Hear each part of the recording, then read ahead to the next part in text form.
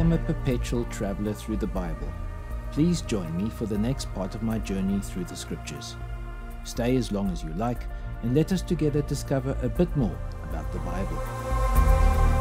During the last podcast, episode 41 of Journey Through the Scriptures, we read about the dragon, the woman, and her son, and who and what they represented. Naturally, when it comes to interpreting the symbols in this chapter, there are a lot of differing opinions surrounding these characters and what they represent. For instance, many well known Bible commentators feel that the third of the stars that were swept from the sky by the dragon's tail, mentioned in chapter 12, verses 4, are angels and not Jewish leaders. But it is important that we should focus always on the message and not on the words. Whether these stars are angels or men is not as important as what the Holy Spirit is trying to tell us through John. Currently, Satan has access to heaven. He does not reside there, but often he appears before God to accuse believers. Revelation 12, verses 10 tells us this. Job chapter 1, verses 6 to 12 tells a story of Satan appearing before the throne of God to accuse Job and to seek permission to attack his body. However, in the midst of the tribulation, as we will discover now, Satan will lose his access to heaven. Bible scholars differ on whether this specific reference to a third of the stars of the heaven is a reference to Satan's work of corrupting one third of the angels of heaven, or if it points to his immense earthly power at this time. Either way, Satan and all the rebelling demons will be cast down and barred from their normal access and communication with God. This appears in Revelation 12, verses 7 to 9. Now war arose in heaven. Michael and his angels fighting against the dragon. And the dragon and his angels fought back, but he was defeated, and there was no longer any place for them in heaven. And the great dragon was thrown down, that ancient serpent who is called the devil and Satan, the deceiver of the whole world. He was thrown down to the earth, and his angels were thrown down with him. This is a sudden change of scene. We are no longer looking at the events on earth, but looking into heaven and seeing a scene of conflict invisible to earth but taking place in heaven. This is the first reference to Michael in this book. Who is this Michael? We can tell by what he is doing. He is fighting against the great red dragon. We first meet Michael in the Old Testament prophecy of Daniel in chapter 12, verses 1. Here, Michael is called the great prince who has charge of your people, that is, the people of Daniel, who are the Jews. The return of Michael in Revelation 12 is yet another indication that Israel is at the forefront of the events of this book, and Israel is in focus here symbolized by the woman, representing the believing remnant of Israel. Up to this point, Satan has access to heaven. In the book of Job, he appears before God and requests permission to attack the body of Job. In the book of Zechariah, he is also seen accusing the believers before God in heaven. Paul tells us in Ephesians 6 verses 12 that we believers today are wrestling not against flesh and blood, but against the rulers, against the authorities, against the cosmic powers over this present darkness, against the spiritual forces of evil in the heavenly places. In other words, other people are not really our problem. It is what the devil is doing to people that makes them oppose us. It is through the wicked spirits which he calls the spiritual forces of evil in the heavenly places. But at this point in Daniel's 70th week, God sends Michael, the great archangel, with his angels, and together they force the devil and his angels out of heaven and hurl them to the earth. We have already seen a description of this in symbolic form back in Revelation chapter 9, verses 1, where we saw a great star fall from heaven onto the earth, and from it emerged one who came from the bottomless pit. Other accounts of this fall of Satan are to be found in Ezekiel 28 and Isaiah 14. I will let you read these passages in your own time. In the next verses, Revelation 12, verses 10 to 12, the reaction of heaven to this casting out of the devil is recorded. And I heard a loud voice in heaven saying, Now the salvation and the power and the kingdom of our God and the authority of his Christ have come, for the accuser of our brothers has been thrown down, who accuses them day and night before our God. And they have conquered him by the blood of the Lamb and by the word of their testimony, for they loved not their lives even unto death. Therefore rejoice, O heavens, and you who dwell in them. But woe to you, O earth and sea, for the devil has come down to you in great wrath, because he knows that his time is short. This loud voice that John hears seems to come from the martyrs of chapter 6, who were given white robes and who are seen under the altar crying out to God. How long before you will judge and avenge our blood on those who dwell on the earth? They are the ones who now rejoice that the devil has been cast out of heaven. They speak of the accuser of our brothers, who accuses them day and night before our God. The brothers here would be the believing Jews, the remnant of Israel, who are still on earth during these days. The loud voice in heaven announces that the time has come for the Lord Jesus to reign over the kingdom long ago promised to Israel. At this time, I would like to stop at verse 11 and focus on how the believers of any age can overcome the evil schemes of the devil as he attempts to deceive us, neutralize us, and immobilize us with the poisonous emotion of guilt. This verse says, They have conquered him by the blood of the Lamb and by the word of their testimony, for they loved not their lives even unto death. We are assaulted by the devil continually. Lies and misleading philosophies assault our senses from every side today. These philosophies are wrong and hurtful and are widely believed and spread. We are being accused before the presence of God, and in our hearts we hear these accusations by the devil. We need to know how to answer the accusations. There are three steps to take. Firstly, they conquered him by the blood of the Lamb. We have all heard the devil accusing us. I am sure that you have heard that inner voice that says, What kind of Christian are you? Look at what you have done. How could God ever love you? What makes you think you are acceptable in His sight? You are worthless. How does one answer that? According to this text, you must admit it because it is true. We make mistakes all the time. It is true. We believe lies, we act selfishly, we are malicious and self indulgent at times. We hurt others thoughtlessly. It is all true, and we should admit it. But then remind the devil of the blood of the Lamb, the cross of Christ. On that cross, Jesus bore our sins so that we are no longer to be judged and even accused before God. What does Paul tell us in Romans 8, verses 1? There is therefore now no condemnation for those who are in Christ Jesus. That is the power of the blood of the Lamb. There is no way to answer Satan and avoid the guilt and shame of which he accuses us without resting upon the work of the cross and the blood of the Lamb. Paul declares in 2 Corinthians 5 verses 17 that if anyone is in Christ, he is a new creation. The old has passed away, behold, the new has come. When the Lord Jesus makes us new creatures, Satan can only accuse you of something that is past and gone. So, by trusting and relying on the blood of the Lamb, we have exercised faith. Secondly, in verse 11, it says that they overcame the devil by the word of their testimony. As believers, we need to share with others what Christ has done for us. How many of us here have come to Christ because of the testimony of someone else?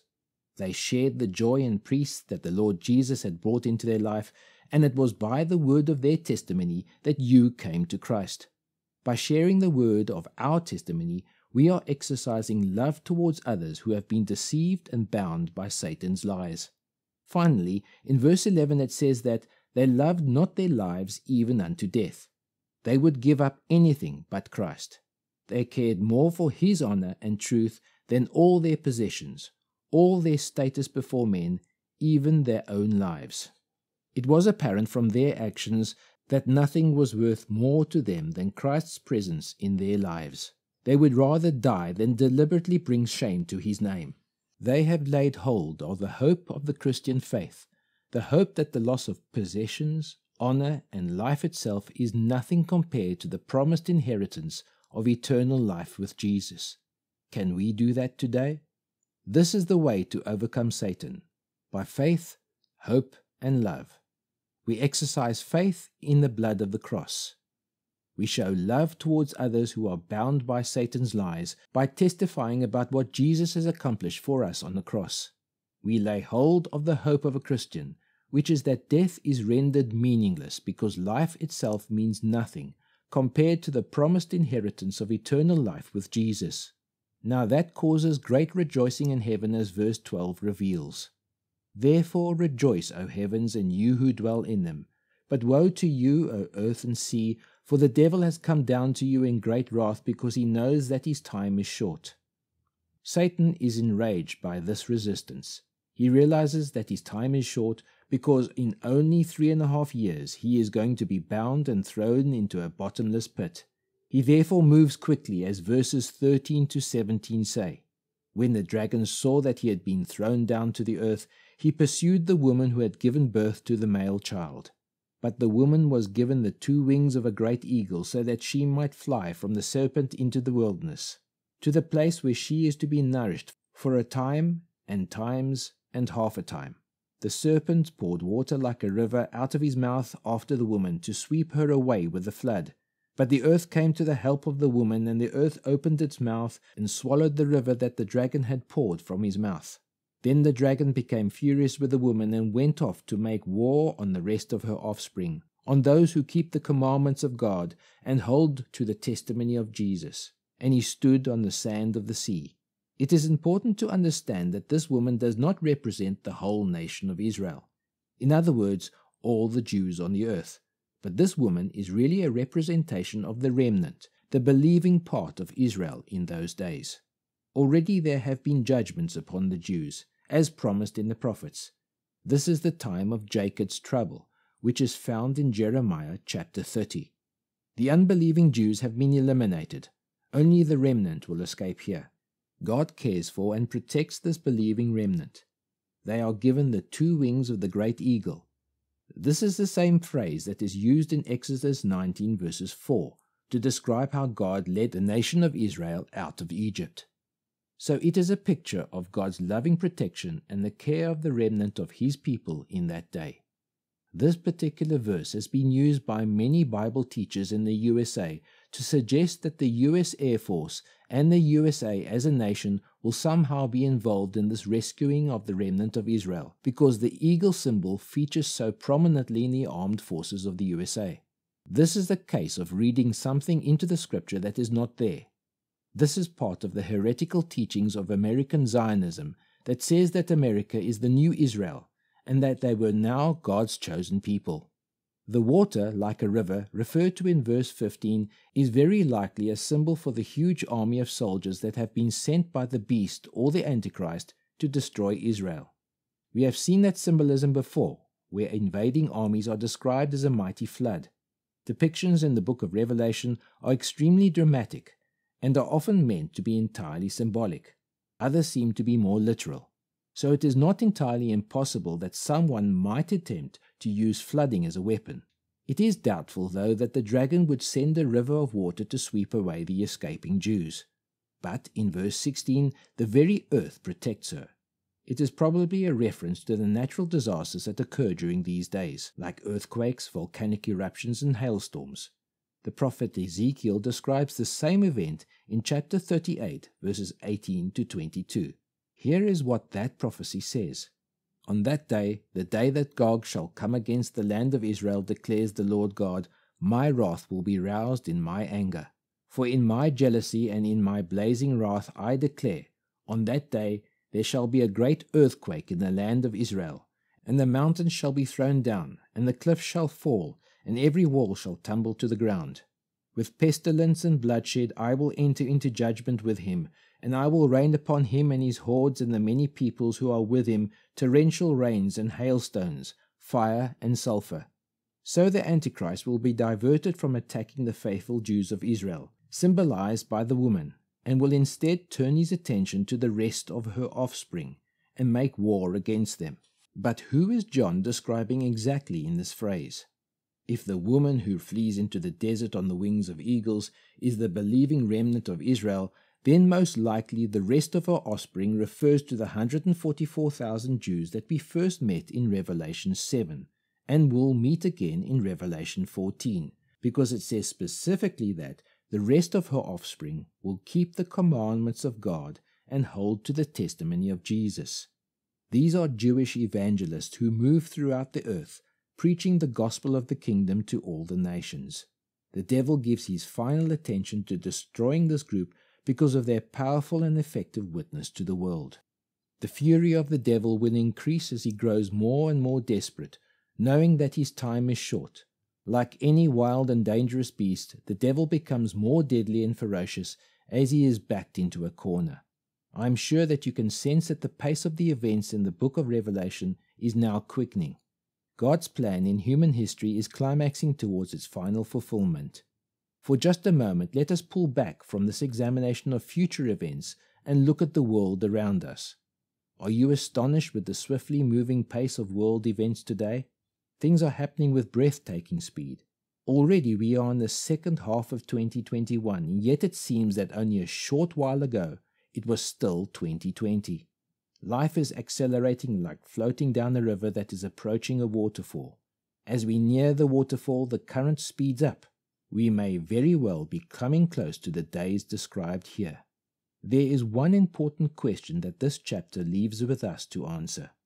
How are you doing in your personal battle with Satan? Have you learned to overcome him, to live as an overcomer in the desperate conditions of today? Are you relying daily upon Jesus and his blood as the source of your righteousness? Are you sharing the word of your testimony with others? Have you placed all you have on the altar of Jesus Christ? We can only overcome Satan by the blood of the Lamb, by the word of our testimony, and loving not our lives unto death. Nothing should be more important to us than the ministry our Lord Jesus has given to us in this day. That is to live our lives before the world as He enables us to live through Him and in Him. This is David Wiles, your fellow traveler in Christ, and this has been the Journey Through the Scriptures podcast, episode 42.